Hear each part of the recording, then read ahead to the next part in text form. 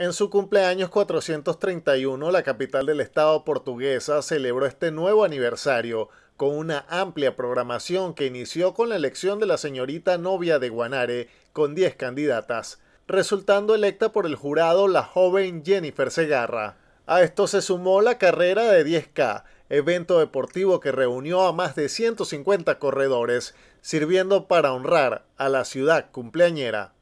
Pero también tenemos recreación y diversión para el sano esparcimiento y el disfrute de la familia guanareña.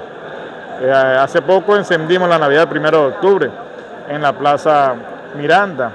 Dentro de pocas horas lo vamos a hacer, pocos días, horas, lo vamos a hacer de la Roma Cacique Coromoto, que vamos a inaugurar esa imponente y majestuosa obra que es única en todo el centro occidente del país. Pero allí también se van a encender una importante cantidad de luces navideñas, un imponente y majestuoso árbol de Navidad. También lo vamos a hacer en la Plaza Bolívar, en la Plaza Coromoto, en el Centro Cultural Tomás Montilla, para que nuestra familia también disfruten el plan Fiesta de la Luz.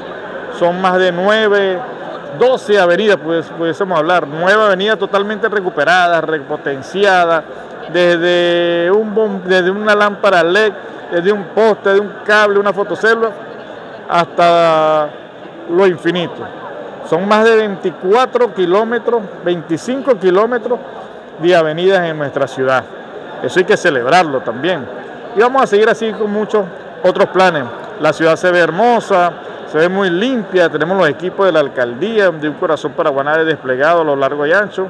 Hemos cuadriculado 318 eh, calles de nuestra ciudad, al cual le hacemos el mantenimiento. Pero también le hacemos mantenimiento a más de 90 90 mil metros de avenida en nuestra ciudad. Y también de forma permanente se le hacen mantenimiento a 380 mil metros cuadrados de, los de las plazas y de los parques. La revolución en Guanare se ve, se siente y se palpa. En la Catedral de Guanare fue desarrollada una misa de acción de gracias en conmemoración de esta importante fecha en donde autoridades del gobierno municipal y estadal entregaron las acostumbradas ofrendas, continuando luego con una sesión solemne de la Cámara Municipal, teniendo como oradora de orden a la presidenta del Parlamento Regional María Gabriela Gil de Cedeño, quien recibió además la orden Cacique Coromoto en su primera clase. Para Telenoticias Portuguesa reportó Manuel Alvarado.